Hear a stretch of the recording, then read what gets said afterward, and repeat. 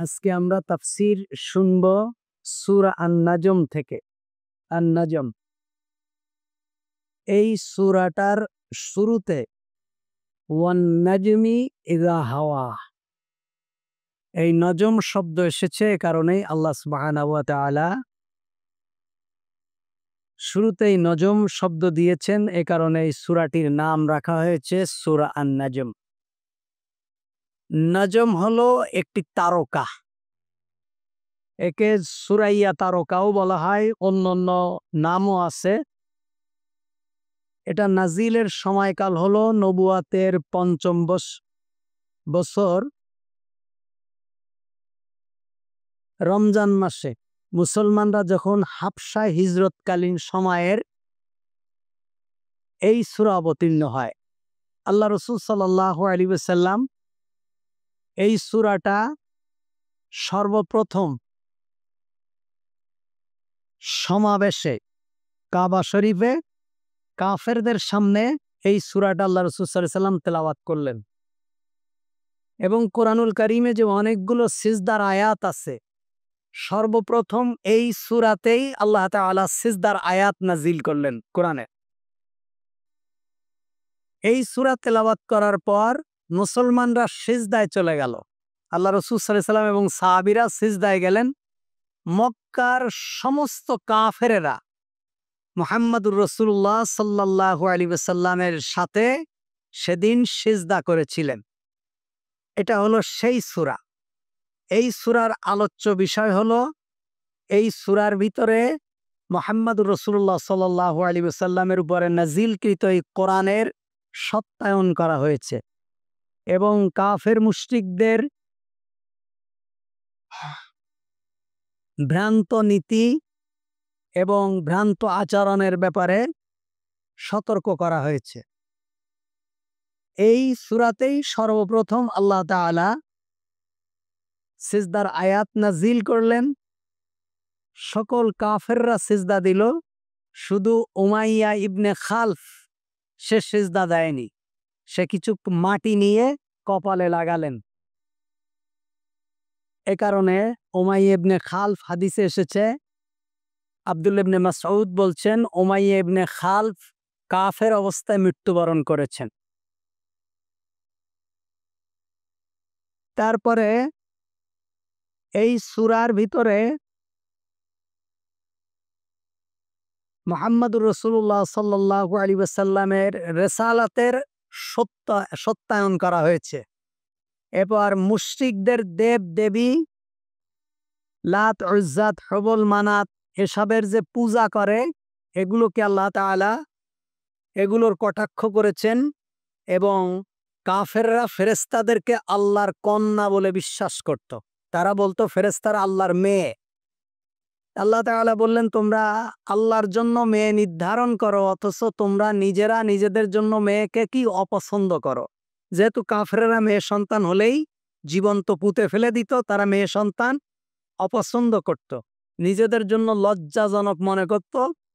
এ কারণে আল্লাহ তাআলা বলছেন, তোমরা ফেরেস্তাদেরকে আল্লাহর কন্যা বলে মনে করো, অথচ নিজেদের জন্য কন্যাকে অপছন্দ করো। এইভাবে আল্লাহ তাআলা অনেক কথাই এই সুরার ভিতরে বর্ণনা করেছেন। আমরা তাফসিরে চলে যাচ্ছি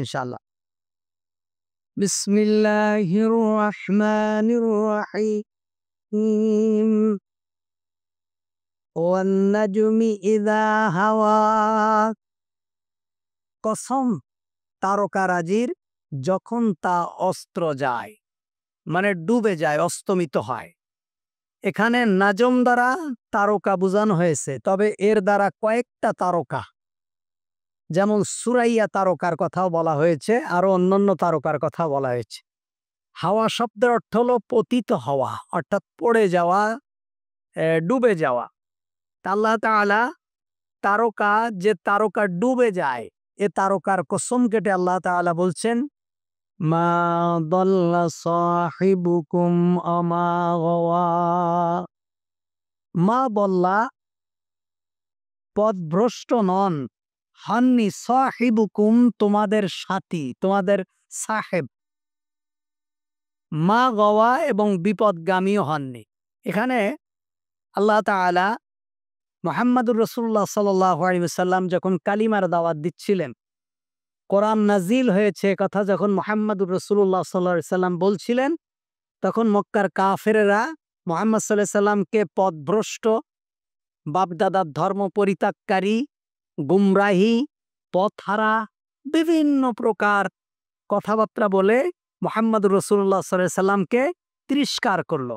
তখন আল্লাহ তাআলা বললেন, মা দল্লা সাহিবুকুম অমা গাওয়া, তোমাদের সাথী পথভ্রষ্ট হননি এবং বিপদগামী হননি।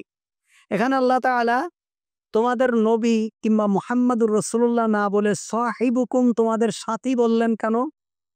এর কারণ হলো আল্লাহ তাআলা কাফেরদেরকে বুঝালেন, যেই মোহাম্মদ তোমাদের সামনে পৃথিবীতে এসেছে, তোমাদের খেলার সাথী ছিল, তোমাদের ব্যবসায়িক সাথী ছিল, তোমাদের বন্ধু বান্ধব ছিল, তোমাদের সমাজে বড় হয়েছে তোমরা এক, একই একই সাথে তোমরা চলাফেরা করো। সে ব্যক্তি ভালো না খারাপ, তোমরাই ভালো জানো।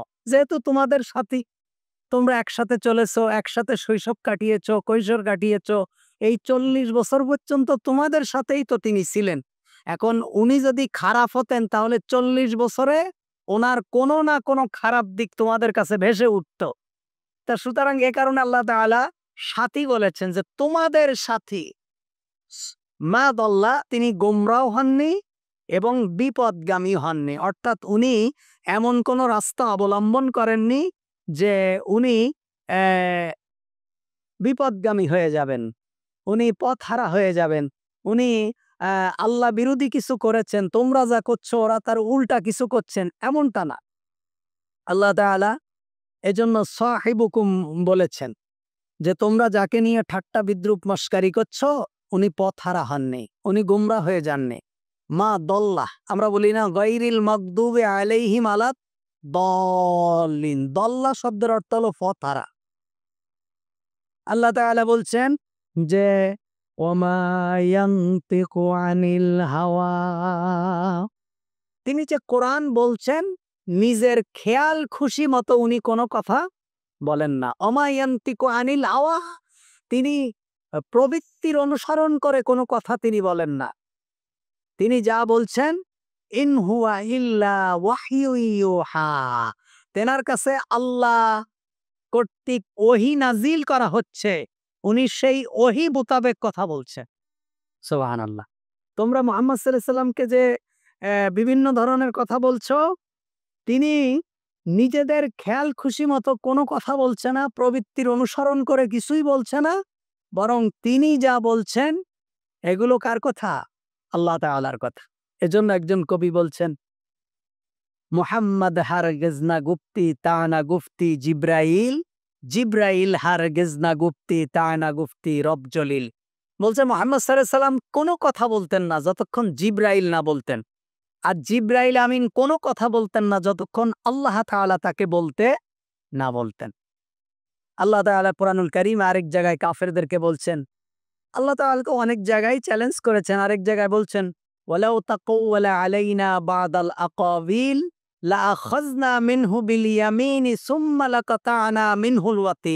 আমার রসুল যদি নিজের থেকে কোনো কথা বানায় যদি বলতো, কিংবা নিজের থেকে কোনো কথা বলে যদি কোরআনের মধ্যে ঢুকায় দিত, আমার কথা বলে, তাহলে আমি তার ডান হাতখানা চেপে ধরতাম এবং কণ্ঠনালীকে আমি আল্লাহ তালা কেটে ফেলে দিতাম।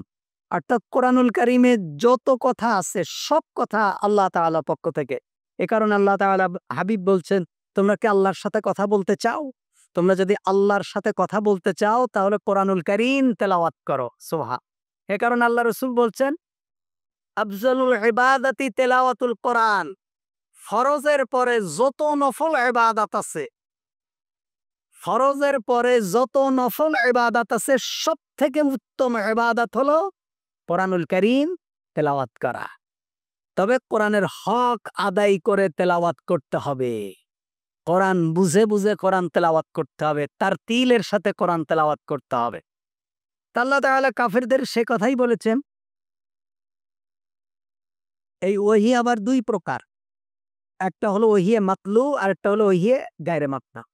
একটা হলো ভাব এবং ভাষা দুটোই আল্লাহর।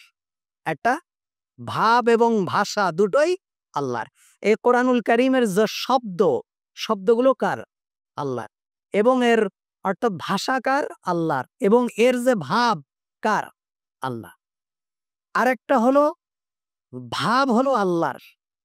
ভাষা হলো মোহাম্মদুর রসুল্লাহ সাল্লাহ এজন্য হাদিসকেও কোনোভাবে অস্বীকার করা, হাদিসকে নিয়ে কটাক্ষ করা কিংবা হাদিস মানব না বলা, আমরা শুধু কোরআন মানব বলা, এটা হলো কুফরি। কারণ মোহাম্মদুর রসুল্লাহ সাল্লাহ আলী সাল্লামের কোরআনুল করিমের আয়াত কয়টা? ছয় হাজার দুইশো ছত্রিশটা আয়াত। ছয় হাজার দুইশো ছত্রিশটা আয়াত। আপনারা যেটা জানেন, ছয় হাজার ছয়শো ছত্রিশটা আয়াত এটা ভুল। এটা সঠিক না। যদি বিশ্বাস অনেকের না হয় যেটা মানে নতুন ফতোয়া, তাহলে এই কোরআন নিবেন একটা। এখান থেকে একটা কোরআন খুলবেন। কোরআন খুলে প্রতি সুরা শুরুতে দেখবেন যে সুরা ফাতেহার সাত আয়াত, সুরা বাকারার এত আয়াত, সুরা ইমরানের এত আয়াত। তো এই আয়াতগুলো যোগ করলে দেখবেন ছয় হাজার ছয়শো ছত্রিশটা হচ্ছে না। এটা একটা মত আর কি যে ছয় হাজার ছয়শো ছত্রিশটা এইটা নিয়েই আমরা পড়ে আসি এখন যেটা সহি, ওইটাকে যদি বলা হয় তাহলে মনে হয় এটা নতুন কিছু বলছি। যাই হোক। এই ছয় হাজার দুইশো ছত্রিশটা আয়া জিব্রাইল আমিন কখনো পুরো একটা সুরা অবতীর্ণ করেছেন। কখনো অনেকগুলো আয়াত একসাথে অবতীর্ণ করেছেন। একবার তো এক আয়াত করে আনেননি। কখনো পুরো একটা সুরা এনেছেন। তাহলে গোটা কোরআন আনতে কতবার বা জিব্রাইলের আশা লেগেছে? কিন্তু জিব্রাইল মোহাম্মদুর রসুল্লাহ সাল্লামের জীবদ্দশায় চব্বিশ হাজার বার এসেছে। কতবার? চব্বিশ হাজার বার এসেছে। সুতরাং শুধু কোরআন নিয়েই জিব্রাইল আসেননি। কথা অন্যান্য ব্যাপারেও জিব্রাইল আমিন বারবার নবী আলহি সালাতামের উপর এসেছেন। আল্লাহ তাআলা বলছেন আল্লামাহু শাদীদুল তাকে শিক্ষা দান করেছেন এক অতি শক্তিধর ফেরেস্তা এখানে আল্লাহ তাআলা বলছেন যে, এই যে কোরআন, এই কোরআন শিখিয়েছেন কে? এক অতি শক্তিধর ফেরেস্তা অর্থাৎ এই কোরআনকে যাকে তোমরা মানব রচিত বলছো, এই কোরআনকে যাতে মোহাম্মদ সাল্লাহ সাল্লামের নিজের কথা বলছো এই কোরআন একটা শক্তিধর ফেরেস্তা কর্তৃক শিক্ষা দেওয়া হয়েছে। তিনি কে? জিবরিল আমিন। শক্তিধর ফেরেস্তা হলো জিবরিল আমিন সম্পর্কেই আল্লাহ তাআলা বলেছেন। তিনি অত্যন্ত বিচক্ষণ ও শক্তির অধিকারী। তিনি তার স্বরূপে দৃশ্যমান হয়েছে। এখানে হচ্ছে ফাস্তাওয়া। ফাস্তাওয়া শব্দের অর্থ হলো তিনি তার স্বরূপে অর্থাৎ জিব্রাইল আমিনকে মোহাম্মদ রসুল্লাহ জীবনের দুইবার তার নিজস্ব আকৃতিতে দেখেছেন। কয়বার? চব্বিশ হাজার বার জিব্রাইল এসেছেন। কখনো ঘণ্টার শব্দের মতো কখনো জড়ো হাওয়ার বাতাসের মতো কখনো ঘুমন্ত অবস্থায় ওই এসেছে। কিন্তু জিব্রাইলকে তার নিজস্ব স্ট্রাকচারে মোহাম্মদুর রসুল্লাহ দুইবার দেখেছে সোহানন্দ কীভাবে? সেটা যে উনি দুইবার দেখেছেন, মিররা শব্দের অর্থ হল শারীরিক, মানসিক, উভয় প্রকার শক্তি বোঝানো হয়েছে। জিব্রাইল সাল্লামের বৈশিষ্ট্য হিসাবে এর শব্দ ব্যবহার করা হয়েছে। এর দ্বারা বোঝানো হয়েছে যে কেউ যেন এমন মানে না করে, জিব্রাইল সাল্লাম ওহি নিয়ে রসুল করিম সাল্লাহু আলী সাল্লামের নিকট আগমন করার সময় কোনো শয়তান তার উপরে প্রভাব বিস্তার করেছে। অনেকে বলতে পারে, তুমি তো জিব্রাইলকে দেখনি, তাহলে এটা কি জিব্রাইল না এটা ইংলিশ শয়তান? তুমি বুঝলে কীভাবে? এ কারণে আল্লাহ তাআলা বলছেন যে জিব্রাইলকে, জিব্রাইল মোহাম্মদুর রসুল্লাহকে শিক্ষা দিয়েছেন। তিনি অত্যন্ত শক্তিধর এবং তার হলো তিনি তার স্বরূপে দৃশ্যমান হয়েছে। তার নিজস্ব, এই জিব্রাইলের যে একটা বিরাট আকৃতি আছে, ওই আকৃতি নিয়ে তিনি পৃথিবীতে এসেছিলেন এবং মোহাম্মদ রসুল্লাহ সাল্লাহ সাল্লাম তাকে দেখেছিলেন। প্রথম যখন দেখেছিলেন, তখন তো উনি ভয়তে একেবারে ভয় পেয়ে গেলেন। মোহাম্মদ রসুল্লাহ সাল্লাহ সাল্লাম ওনার জ্বর এসে গেল। ওনার জ্বর এসে গেল, একেবারে কাঁপতে শুরু করলেন। ভয়তে তখন বাড়ি এসে বললেন, খাদিজাকে যে, খাদিজা, জাম্মিলুনি জাম্মিলুনি, আমাকে কম্বল দিয়ে দাও। মানুষ ভয় পাইলে কি হয়? শীত লাগে না? জিবরিলকে খাদিজাকে বললেন, খাদিজা, তুমি আমাকে কম্বল মোড়ায় দাও। আমি তো ভয় পেয়ে গেছি, আমি এই এই এই এই দেখলাম। এইভাবে দেখলাম। যার পা হলো জমিনে, মাথা কোথায়? আসমানে। এই বিশাল এক ফেরেস্তাকে আমি দেখলাম। তিনি আমার কাছে ওহি নিয়ে আসলেন। তখন খাদিজা বললেন হ্যাঁ আমরা ইতিপূর্বের যে ইনজিল কিতাব, সেখানে আমরা পড়েছি এবং ইন খাদিজার চাচা, চাস্ত ভাই চাচা, ওরাকা ইবনে নফেল উনি খুব জ্ঞানী ছিলেন, পণ্ডিত ছিলেন, শিক্ষিত ছিলেন। উনি জানতে, উনি এই এই আলামত, যার উপরে প্রভাব বিস্তার করবে, উনি হবেন শেষ নবী মোহাম্মদ রসুল্লাহ সাল্লাহ সাল্লাম তখন খাদিজা ওনার সত্যায়ন সত্যায়িত করল যে হ্যাঁ আপনি হবেন শেষ নবী, আপনার উপরে যিনি এসেছেন উনি কে? জিবরিল আমিন, আপনার উপরে ওহি নিয়ে এসেছে। জিব্রাইল আমিন যখন তিনি প্রথম দেখেছিলেন, তখন তিনি জিব্রাইলকে পূর্ব দিগান্তে দেখেছিলেন। আল্লাহ তাআলা বলছেন অহুয়া বিল উফুকিল আলা। এমত অবস্থায় তিনি ছিলেন ঊর্ধ্ব দিগান্তে। অর্থাৎ তিনি পূর্বে দিগান্তে বসেছিলেন যেখানে আকাশ পৃথিবীর সাথে মিশে গেছে। অর্থাৎ জিব্রাইল বসেছে আর মনে হচ্ছে যেন আকাশ পৃথিবীর সাথে মিশে গেছে। অর্থাৎ জিব্রাইলের পিছে আর কিছু দেখা যাচ্ছে না। আমরা দূর থেকে দেখলে মনে করি কি আকাশ নেমে গেছে। তা আল্লাহ তাআলা বললেন, বিল উফুকিল আলা। এমত অবস্থায় তিনি ছিলেন উত্তর দিগান্তে। অর্থাৎ আকাশ পৃথিবীর থেকে মিলে গেছে। জিব্রাইলকে দেখলে মনে হচ্ছে যেখানে আকাশ পৃথিবীর সাথে মিলিত দেখা যায়। এটাকে উক্ত দিগন্ত এজন্য বলা হয়েছে যে, ভূমির সাথে মিলিত দিগন্ত, যে দিগন্ত তা সাধারণত দেখা যায় না, তাই জিব্রাইলকে তার উপরিভাগে উগ্ধ দিগান্তে দেখা গিয়েছে। ওই জমিন যখন একদম জমিনের সাথে মিশে যায়, আকার যখন মিশে যায়, ওটা তো দেখা যায় না। তা জিব্রাইল দেখেছে? যখন জিব্রাইলকে দেখেছেন জিব্রাইল এভাবে বসেছিল, মনে হলো আকাশ একেবারে তার পিচ দিয়ে জমিনের মধ্যে লেগে গেছে। এজন্য আল্লাহ তাআলা বললেন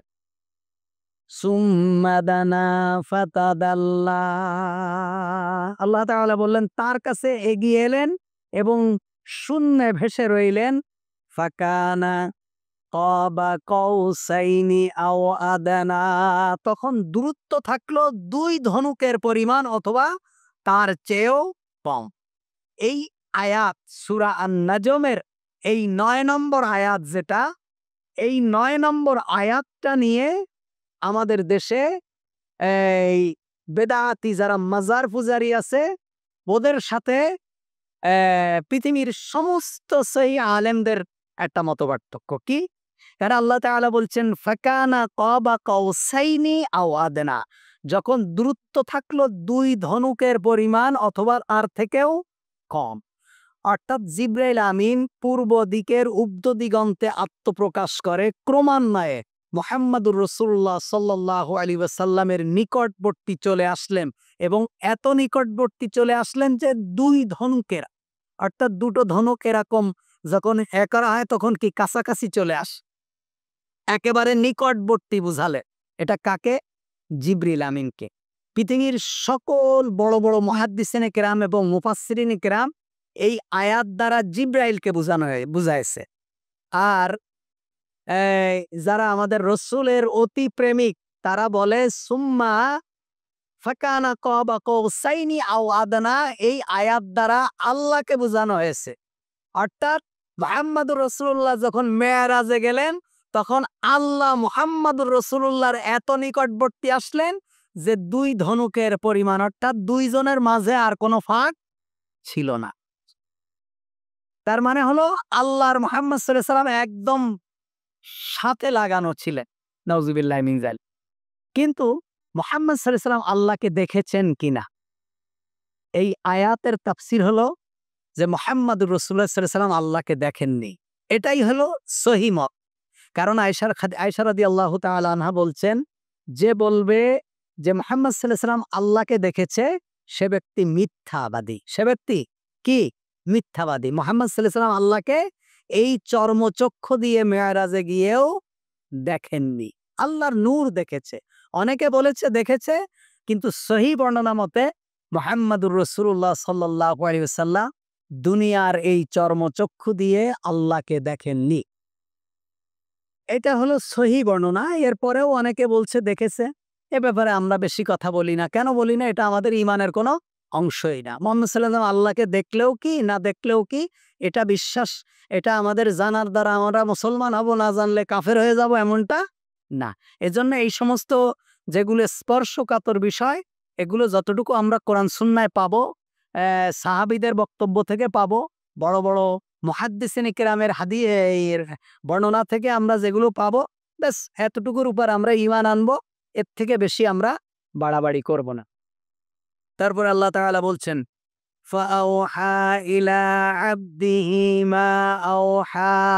তখন তিনি ফেরেস্তা আল্লাহর বান্দার নিকট ওহি পৌঁছে দিলেন যে ওহি পৌঁছানোর, পৌঁছানো ছিল।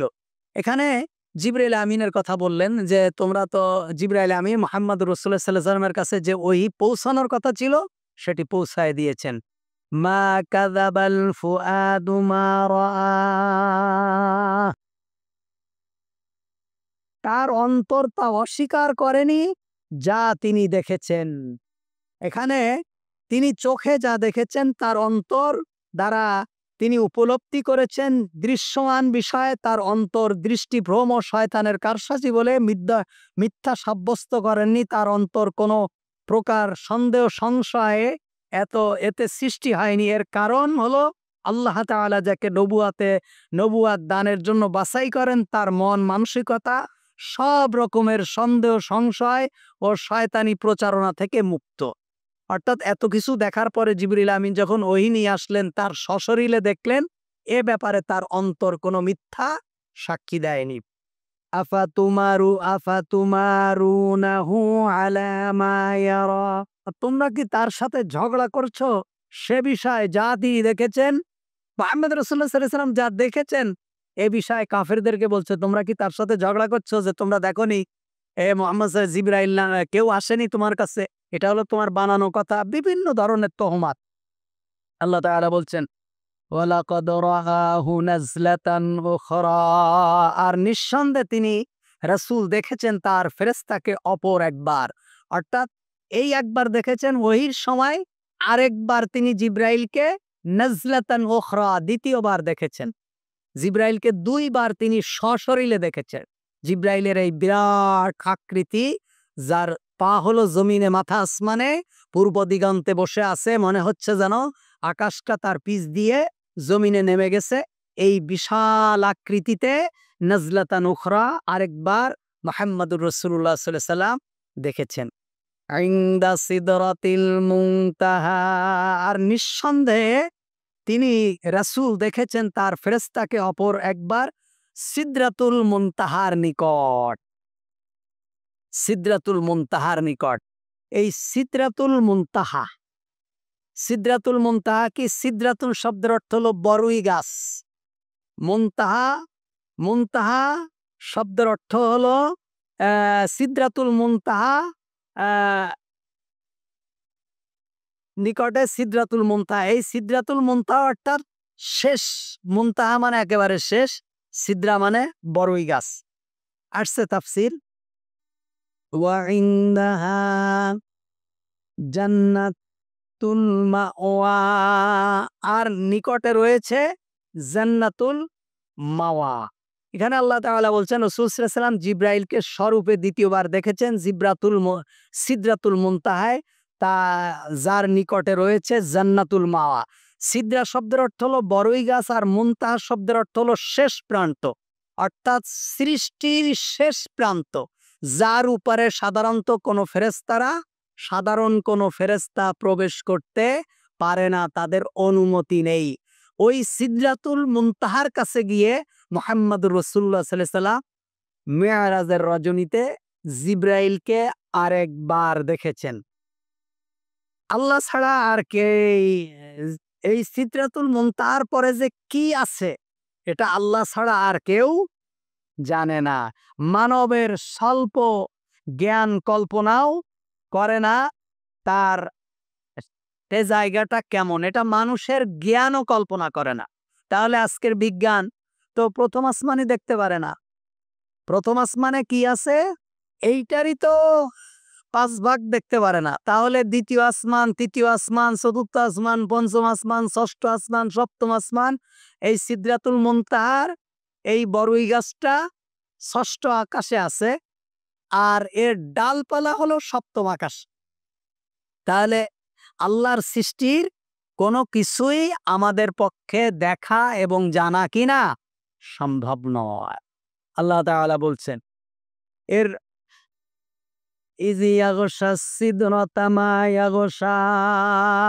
যখন সিদ্রাকে ঢেকে রাখছিল, তা যা ঢেকে রাখার ছিল। এখানে সেই যে বড়ই গাছ, যার যেটা মূল হলো ষষ্ঠ আকাশে এবং এর শাখা প্রশাখা হলো সপ্তম আকাশে। ষষ্ঠ আকাশ থেকে সপ্তম আকাশের দূরত্ব কত দূর? প্রথম আসমান থেকে দ্বিতীয় আসমানের দূরত্ব যত দূর? প্রথম আসমান থেকে দ্বিতীয় আসমানের দূরত্ব কত দূর? কমপক্ষে পাঁচ অত বছরের রাস্তা। সোহান আল্লাহ এই বিশাল, অর্থাৎ দুনিয়া থেকে আকাশের দূরত্ব যত দূর, এর থেকে পাঁচ শত গুণ বেশি দূরত্ব। তো এই সিদ্ধাতুল আসমা- ষষ্ঠ আসমানে হলো এই কুল গাছের বড়ই গাছের গোড়া আর সত্য আসান হলো ডালপালা। তো এই ডালপালাগুলো কি বলছে আল্লাহ তাআলা? ইজি ইয়াগসা সিদ্রতামা ইয়াগসা যখন ঢেকে সিদ্রাকে ঢেকে রাখছিল, তা যা দ্বারা ঢেকে রাখা ছিল। এই সিদ্র, মোহাম্মদ যখন গেলেন মেয়েরাজে, তখন স্বর্ণের প্রজাপতি দ্বারা এই গোটা বড়ই গাছটা স্বর্ণের প্রজাপতি দ্বারা ঢেকে রাখা হয়েছিল। যেটা একেবারেই অলৌকিক ব্যাপার। আল্লাহ তাআলা বলছেন, মা জাগল মা তাগা, বিভ্রাট হয়নি আর সীমা অতিক্রমও করেনি। অর্থাৎ এই বিরাট স্বর্ণের প্রজাপতি দ্বারা এই বিরাট বড়ই গাছকে এমনভাবে ঢেকে রাখা হয়েছে, সজ্জিত করে রাখা হয়েছে, যেটা দেখে মোহাম্মদুর রসুল্লাহ সাল্লাহ সাল্লামের চোখ ঝলসে যায়নি, তার দৃষ্টি ভ্রমর হয়নি, যেটা কি দেখলাম? মানে তার দৃষ্টিটা নষ্ট হয়ে যায়নি। আল্লাহ সোহান তাআলা এসে কথাই বলছেন যে, এই বিরাট দৃশ্য দেখার পর মা ঝাগা তা তখন তার বিভ্রাট হয়নি আল বেসারু দৃষ্টি অমা তগা এবং সীমা অতিক্রম করেনি। لقد رأى من آيات آيات ربه الكبرى নিঃসন্দেহে তিনি তার প্রতিপালকের কতেক বড় বড় নিদর্শনাবলী দেখেছেন তাহলে মোহাম্মদুর রসুল্লাহ সাল্লাম মেয়ারাজে গিয়ে আল্লাহ তাআলার বিরাট বিরাট নিদর্শনাবলী দেখেছেন আসমান দেখেছেন জমিন দে- এ, বিরাট আকাশ দেখেছেন তারপরে হলো জান্নাত জাহান্নামকে আল্লাহ তাআলা ভ্রমণ করিয়েছেন বিভিন্ন মানুষের শাস্তির বিভিন্ন নিদর্শন দেখিয়েছেন, দুনিয়াকে তার স্বরূপে দেখিয়েছেন। তারপরে হলো, এই মধ্যাকর্ষণকে ভেদ করে বিরাট আকাশ পাড়ি দিয়েছেন। আল্লাহ তাআলা অনেক নিদর্শনাবলী দেখিয়েছেন, যেগুলো কিছু মোহাম্মদ বলেছেন, কিছু মোহাম্মদ সাল্লাহ সাল্লাম বলেননি। কিন্তু আল্লাহ তাআলাকে মোহাম্মদ সাল্লাহ সাল্লাম দেখেছেন একথা আল্লাহ তাআলা বলেননি। আল্লাহ তাআলা বলছেন যে নিঃসন্দেহে আমি, তিনি তার প্রতিপালকের কতেক বড় বড় নিদর্শনাবলী দেখিয়েছেন। সুতরাং আমরা যতটুকু জানব, আমরা ততটুকুর প্রতি ইমান আনব। আমরা বাড়তি কোনো কথা আমরা বলব না। মনে রাখবেন, বাড়তি যতটুকু আমাদের ইমান বাস এতটুকু। বেশি পাকায় ফেলবেন, তাহলে আপনি নিজেই ধরা খেয়ে যাবেন। এটা এমন কেন, এটা এমন হয়নি কেন, এটা এমন ছিল কেন? কোনো ব্যাপারে এ করা যাবে না। এই কারণে মোহাম্মদ রসুল্লাহ সাল্লাম বলেছেন, তোমরা তকদির নিয়েও বেশি আলোচনা করো না।